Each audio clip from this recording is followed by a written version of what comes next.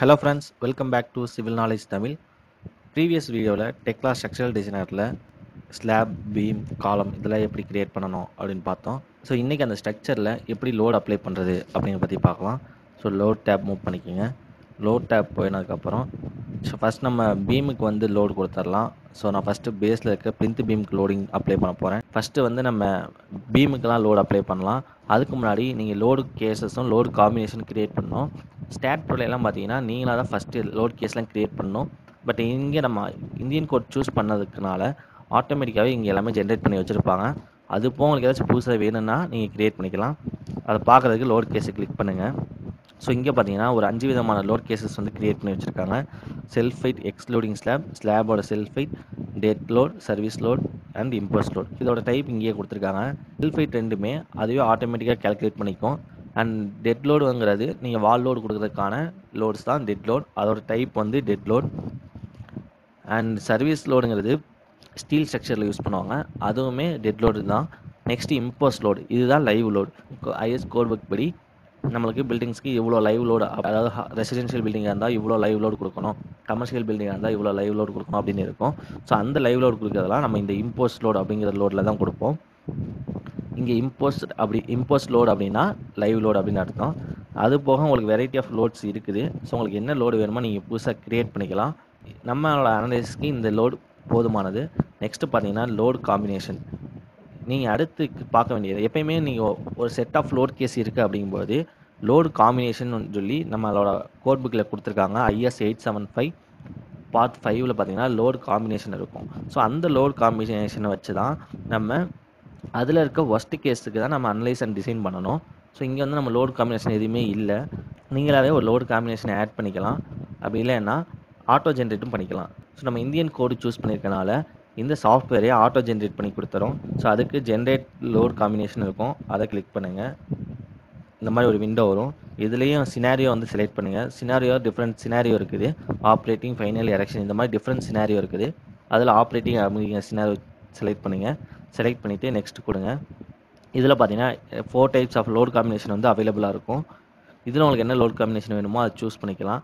இதில் ஜென்ரலாகவே dead load plus live லோடுக்கான லோட் காம்பினேஷன் இருக்கும். அதுதான் டிக் ஆகிருக்கும் அது போய் கீழே இருக்கிறதெல்லாம் பார்த்தீங்கன்னா ஒர்க்கிங் ஸ்டேட் அது இது வந்து லிமிட் ஸ்டேட் மெத்தடில் one point five times of dead லோடை மட்டும் வச்சு அனலைஸ் பண்ணுறது அண்ட் அதுக்கு செகண்ட் லோட் கேஸ் வந்து லிமிட் ஸ்டேட் மெத்தடில் dead load plus live load காம்பினேஷனில் அனலைஸ் பண்ணுறதுக்கான காம்பினேஷன் அதுக்கடுத்து வந்து ஒர்க்கிங் ஸ்ட்ரெஸ் மெத்தட் ஸோ நம்மளுக்கு வந்து லிமிஸ்டேட் மெத்தட் தான் வேணும். அதுவும் லிமிஸ்டேட் மெத்தடில் டெட் லோட் லைவ் லோடு மட்டும் தான் எடுக்க போகிறோம் இங்கே நம்ம வின் லோடோ சீஸ்மிக் லோடோ கன்சிடர் பண்ணலை. அதனால் இந்த ஒரு லோடு காம்பினேஷன் மட்டும் நம்மளுக்கு போதும். அதனால் அதை மட்டும் டிக் பண்ணிவிட்டு நெக்ஸ்ட் கொடுத்துருங்க. மறுபடியும் நெக்ஸ்ட் கொடுத்து ஃபினிஷ் கொடுத்தீங்கன்னா ஸோ இப்போ உங்களுக்கு வந்து லோடு காம்பினேஷன் வந்து க்ரியேட் ஆயிடுச்சு அதை வியூ பண்ணுறதுக்கு அந்த காம்பினேஷன் கீழே இதை கிளிக் பண்ணுங்கள் கிளிக் பண்ணிங்கன்னா ஸோ இங்கே வந்து விசிபிள் ஆகும். இதுலேயும் ரெண்டு டைப் இருக்குது இந்த லோடு காம்பினேஷனில் ரெண்டு விதமாக செக் பண்ணோம். ஒன்று ஸ்ட்ரென்த் ஃபேக்டர் இன்னொன்று சர்வீஸ் ஃபேக்டர் ஸ்ட்ரென்த் ஃபேக்டருக்கு வந்து ஃபேக்டர் ஆஃப் சேஃப்டி வந்து ஒன் பாயிண்ட் ஃபைவ் சர்வீஸ்க்கு வந்து ஃபேக்டர் ஆஃப் சேஃப்டி வந்து ஒன் ஸோ இந்த ரெண்டு காம்பினேஷனுமே சாஃப்ட்வேர் வந்து டிசைன் பண்ணி இதில் ஒஸ்ட் கேஸ் எதுவோ அதுக்கு தான் நம்ம டிசைன் பண்ணுவோம். ஸோ இந்த லோடு காம்பினேஷன் கொடுத்ததுக்கப்புறம் ஓகே கொடுத்துருங்க. ஸோ இப்போ நம்ம வந்து லோடு வந்து அப்ளை பண்ணணும். செல்ஃப் ஹைட் வந்து நம்ம கொடுக்க தேவையில்ல. அது ஆட்டோமேட்டிக்காக கால்குலேட் பண்ணிக்கும். நெக்ஸ்ட்டு நம்ம வந்து வால் லோடு அப்ளை பண்ணணும். வால் லோடு அப்ளை பண்ணுறதுக்கு ஃபஸ்ட் நீங்கள் லோட் கேஸ் வந்து செலக்ட் பண்ணணும். அதுக்கு கீழே இருக்க இந்த டேபில் லோட் கேஸ் வந்து செலக்ட் பண்ணுங்கள் ஸோ இப்போ நான் இங்கே வந்து டெட் அப்படின்னு செலக்ட் பண்ணுறேன் செலக்ட் பண்ணோன்னே இங்கே இருக்கிறதெல்லாம் ஆக்டிவ் ஆகிருக்கும் இந்த ஏரியா வந்து ஸ்லாப் லோடுக்கான ஐக்கான்ஸ் இந்த லோடு வந்து மெம்பர் லோடு அதாவது காலமுக்காக இருக்கட்டும் இல்லை பீமுக்காக இருக்கும் அதுக்கு லோடு அப்ளை பண்ணுறதுக்கு இந்த லோடு இதில் வெரைட்டி ஆஃப் லோடு மெத்தட் இருக்குது நம்ம இங்கே பீமுங்கிறனால அதுக்கு அப்ளை பண்ணக்கூடிய லோடு பார்த்திங்கன்னா ஃபுல் யூடிஎல் அதாவது அந்த மெம்பர் ஃபுல்லாகவே ஒரே மாதிரி இருக்க? யூடிஎல் தான் அப்ளை பண்ண போகிறோம் ஸோ அதனால் ஃபுல் யூடிஎலை செலக்ட் பண்ணிக்கிங்க. செலக்ட் பண்ணிங்கன்னா லெஃப்ட் சைடில் அதோட லோடோட வேல்யூ கேட்கும். இது வா அவுட்டர்ஸில் நம்ம நைன் இன்ச் பிரிக் வால் பண்ணுறோம் அதனால் அதோட லோட் இன்டென்சிட்டி பார்த்தீங்கன்னா thirteen point five kilo newton per metre so அது அதோட வேல்யூ என்ட்ரு பண்ணிவிட்டு அவுட்டர் வாலுக்கு ஃபுல்லாக இதை செலக்ட் பண்ணிக்கிங்க. ஒன்ஸ் நீங்கள் கிளிக் பண்ணாலே போதும். அதில் க்ரீன் கலரில் உங்களுக்கு லோடு வந்து விசிபிள் ஆகும்.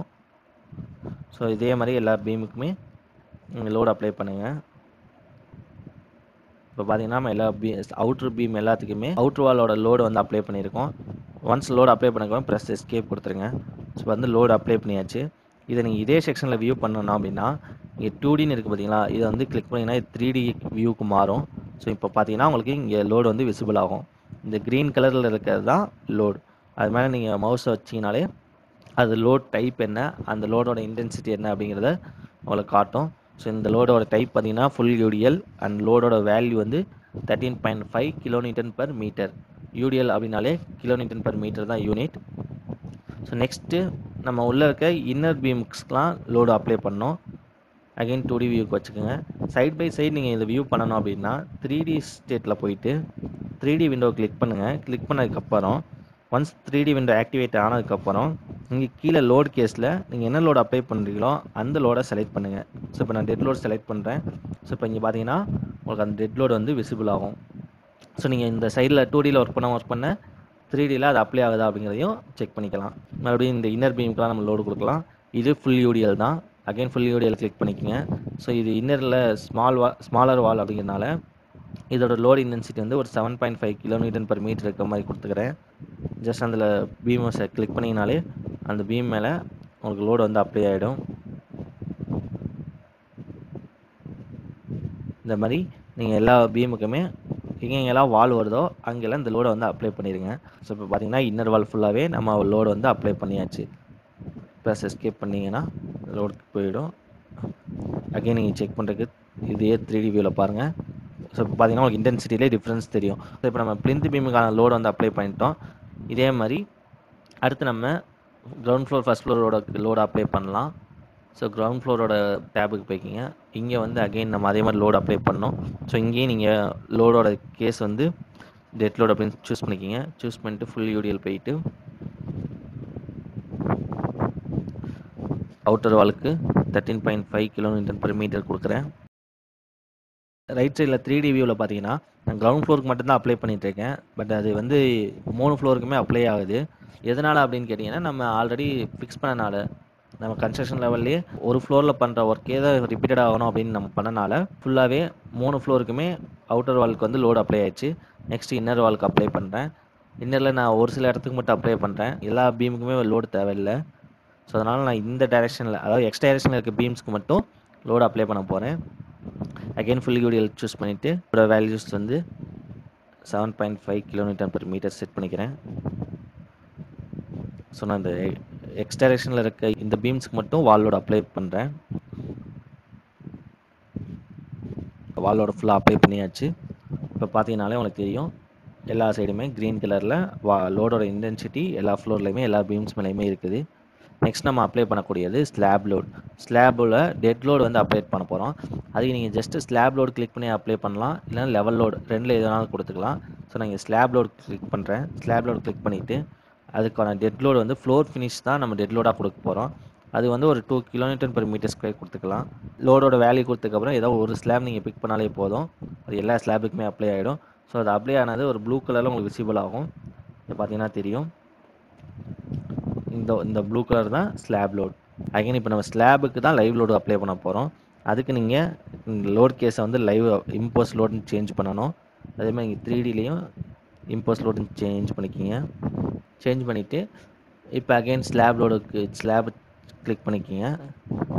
கிளிக் பண்ணிட்டு ஸ்லாபோட லைவ் லோடு வந்து நம்ம டூ கிலோமீட்டர் தான் கொடுக்குறோம். இது ஜஸ்ட் ரெசிடென்ஷியல் பில்டிங் அப்படினால டூ கிலோமீட்டர் கொடுக்குறோம். கொடுத்துட்டு ஏதோ ஒரு ஸ்லாபை பிக் பண்ணுங்கள் ஸோ இப்போ பார்த்தீங்கன்னா உங்களுக்கு ஸ்லாபோட வந்து அப்ளை ஆயிடுச்சு. நம்ம ஒன் ஃப்ளோரில் அப்ளை பண்ணாலே போதும். மூணு ஃப்ளோருக்குமே அதுவே அப்ளை ஆகிக்கும் ஸோ அவ்வளோதான் நம்ம லோடு வந்து அப்ளை பண்ணி முடிச்சாச்சு. இந்த அப்ளை பண்ண லோடு வந்து நீங்கள் டீகம்போஸ் பண்ணணும். அப்போ தான் உங்களுக்கு ஸ்லாபில் இருக்கிற லோடு வந்து பீமுக்கு வந்து ட்ரான்ஸ்ஃபர் ஆகும். ஸோ டீகம்போசிஷன் அப்படின்னு கொடுங்க. ஸோ ஒன்ஸ் நீங்கள் டீகம்போஷன் கொடுத்ததுக்கப்புறமே நீங்கள் உங்களுக்கு பீம் மேலே பார்த்தீங்கன்னா அந்த ஸ்லாப் லோட் ட்ரான்ஸ்ஃபர் ஆனது விசிபிள் ஆகும். ஸோ அதை விசிபிள் பார்க்குறதுக்கு இந்த பேட்டர்னில் இருக்கிறத த்ரீடி வியூவாக வைக்கிறேன். ஸோ இப்போ இங்கே பார்த்தீங்கன்னா இந்த ஸ்லாப் லோடிலேருந்து உங்களுக்கு ஒவ்வொரு சைடு பீமுக்கும் லோட் ட்ரான்ஸ்ஃபர் ஆகிருக்கு இந்த க்ரீன் கலரில் இருக்கிறது தான் ஸ்லாபோட லோ லோடு வந்து பீமுக்கு ட்ரான்ஸ்ஃபர் ஆகிறது. ஸ்லாபோட லோடு எப்படி பீமுக்கு ட்ரான்ஸ்ஃபர் ஆகுது அப்படிங்கிறத இந்த டீகம்போஸ் மூலமாக நம்ம இங்கே பார்த்துக்க முடியும். ஸோ இன்றைக்கி வீடியோவில் எப்படி டெட் லோட் வந்து அப்ளை பண்ணுறது அப்படின்னு பார்த்தோம். நெக்ஸ்ட் வீடியோவில் இந்த ஸ்ட்ரக்சரை அனலைஸ் பண்ணி அந்த அனலைஸ்லேருந்து என்ன மாதிரி ரிப்போர்ட் எடுத்து அதை எப்படி ஸ்டடி பண்ணுறது அப்படிங்கிறத பற்றி பார்க்கலாம். நன்றி வணக்கம்.